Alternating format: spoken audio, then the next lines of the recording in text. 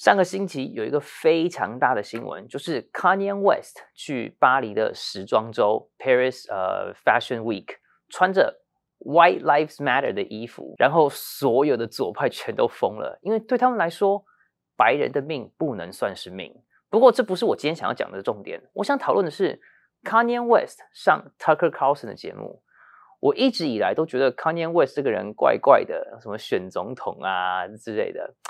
他爆红的专辑是《Jesus Walk》，中途他发生了很多其他的事情，什么娶 Kim Kardashian 啊，各方面的绯闻啊之类的。但是他现在好像是个非常好的保守派基督徒。他上个星期上了 Tucker Carlson 的节目，讲了一串每一个基督徒都应该要听的一段话，每一个保守派都应该要知道的事实。那段很长，是个非常好的访问。我只剪出来其中一段，是关于支持生命的 pro life 那一段。但是这一段的精华不只是关于反堕胎而已，而是我们所有的人都应该有的政治观点。So you just came from Paris Fashion Week. You just landed, and you have a lanyard still on from it, and there's a photograph on it. What is that? It's a photograph of a baby's ultrasound. Why is that? And that you designed that? Yes. Why? What does that mean? Uh, it just represents life. I'm pro-life. Boy, so you wear it on a badge. What, what kind of response do you get? And, and good, amen. I agree. I don't care about people's responses. I care about the fact that there's more black babies being aborted than born in New York City at this point. That 50% of black death in America is abortion. So I really don't care about people's responses. I perform for an audience of one, and that's God. 简单、明了、清晰。Kanye West 是一个 可能是我们这个时代最有影响力的明星之一。很多明星只出了一张专辑就吃一辈子，但是他是不断的在创造，不断的做音乐，而且不断的在修正自己。那当然，大家应该也看得出来，我不是一个呃在追流行的人。说真的，我不是一个喜欢听音乐的人。但是 Kanye West 就是一个连我这个样子的人都知道的，而且都听过他的音乐的人。他在我们这一代的年轻人。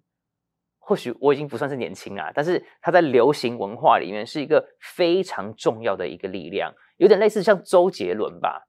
然后我也不听周杰伦的歌，不过这也都不是重点，重点是他说的话非常非常的重要。他说的最后一句话，真的是在告诉你，现在 Kanye West 的政治观点、人生观，还有他心灵层面的价值观。他说：“我不在乎别人说了什么，我只为了一位演出，那位就是神。”在这边，所有的基督徒写下来这句诗词啊，随时提醒自己，这样子你这一辈子做决定的时候都会非常的容易。不管是在政治方面、财务方面、人生规划，你任何事情有这句话的话，你都会知道你要做什么。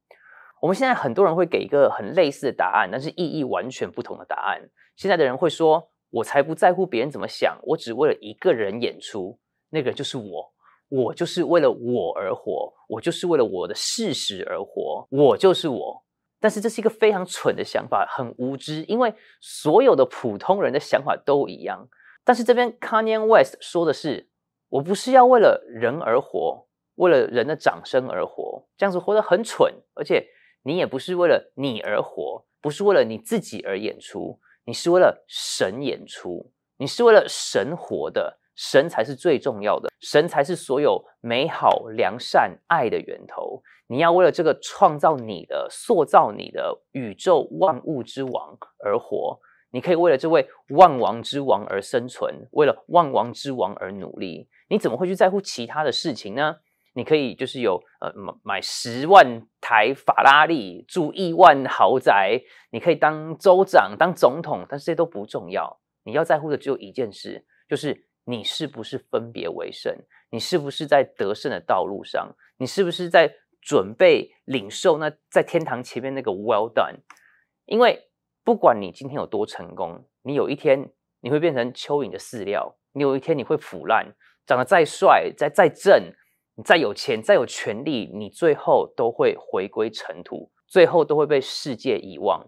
所以，你唯一要在乎的观众就是神，就是耶稣。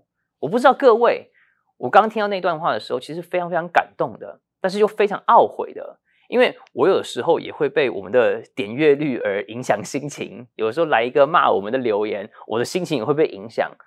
但是为神而活，那个才是目标才对。Kanye West 在做的事情，在说的话，比绝大多数的共和党政治人物说的都还重要，比绝大多数的保守派的人说的都还要真实，比绝大多数的基督徒、牧师、传道人都还有影响力。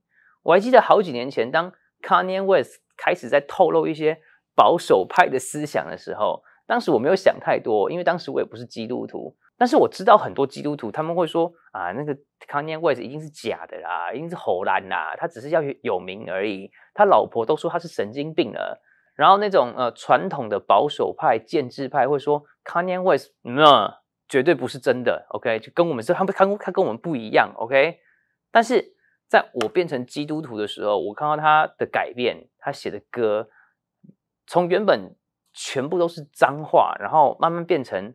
好像是在敬拜神呢，他的歌词好像不是这么受害者心态哎，跟他的前妻说，当时是他妻子，OK，我想要尊荣你，I want to honor you，但是你也要尊荣你的丈夫，以后不可以再穿成这个样子了。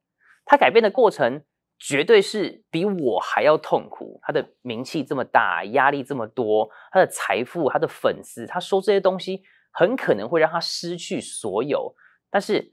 他的心态是正确的，他的目标是明确的，只是他想办法如何在这个样子的情况下让自己分别为胜而已。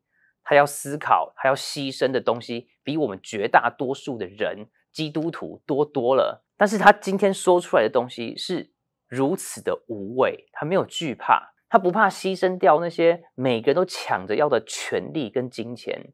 这个样子的人才不会为了达成什么东西来，或者是为了自己的荷包而妥协。Kanye West 在做的事情，不只是在把这些左派的年轻人，他这些左派的这些粉丝拉到保守派而已。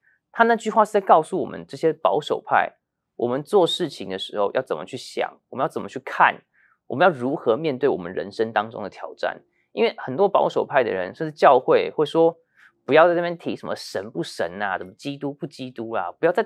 讨论什么文化了？不要再讨论什么价值观了。那些东西赢不了选票，钱捐捐款也不会变更多。我们就来讨论，就是怎么减税啊？你一年可以省多少钱啊？然后退税了之后有多好啊？然后呢？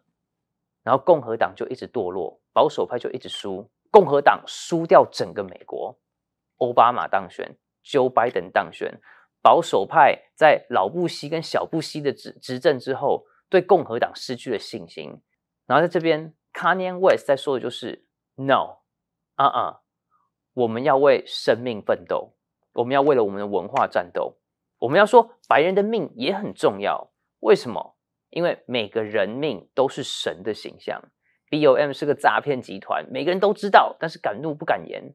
然后他说，我们要把我们的国家重心重新放在神的手中，我们的国家要爱神。我们要告诉每个人，他们是神圣的，不要为了自己的，他们不需要为了自己的成功而失去他们的自己的神圣性。我们要把我们的目光，美国人要把我们的目光放在神的身上。这是为什么这个国家一开始会变这么伟大？这也是我们应该要回归的方向。我们的国家现在烂成这个样子，就是因为我们没有把注意力放在神的身上。